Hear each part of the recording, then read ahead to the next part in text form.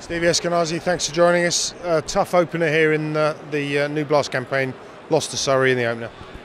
Yeah, um, an incredible side, Surrey, with an amazing amount of experience. Um, a side at, I guess, the opposite end of the spectrum in terms of their development as us. Um, I think at stages today, we actually fought really hard and we competed. I think to keep them to 200 was somewhere, if not par, just a fraction over par, and something we felt really comfortable defending. Um, and I think after the power play, we were really nicely set up to, to put them under some pressure there going into the, ten, the second 10. Um, ultimately, I think that experience shone through. They kept coming at us, and we fell a bit short. But I think that whilst there were some positives, um, we're going to have to learn and learn fast.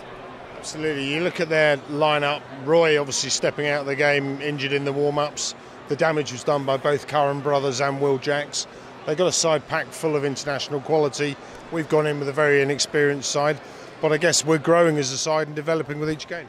Yeah, look, Surrey haven't just got to this point overnight. Um, they've built to the side, they've added, they've put games experience into young players. Sam, Tom, and Jaxie five years ago, they were where Nate Fernandes is now, you know. So people can be very quick to forget that, I think. Um, the likes of Eoin Morgan, they were once 18, 19 year olds in this team learning the game too. So, um, look, they, they've out, outpowered us there, I think, at the death um, and with the ball. When your international opener drops out with an injury and you can bring up somebody who's opened in the IPL for six years, it's a very different equation to bringing someone in as a debutant. So, whilst we have realistic expectations of these guys, I don't think that's a ceiling on their performance either.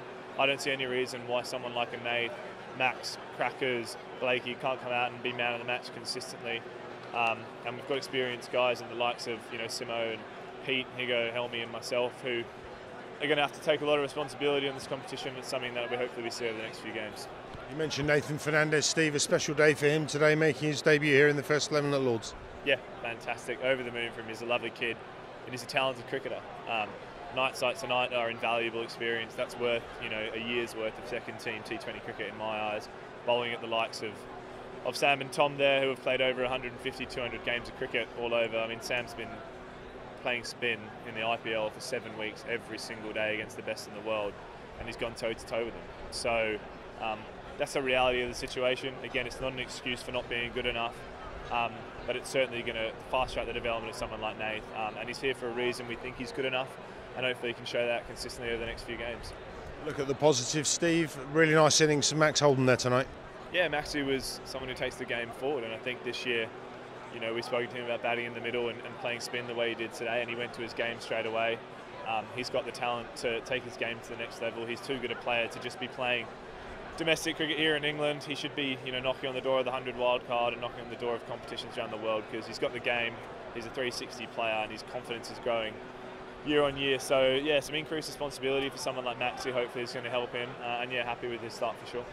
Absolutely, Eski. Thanks for joining us.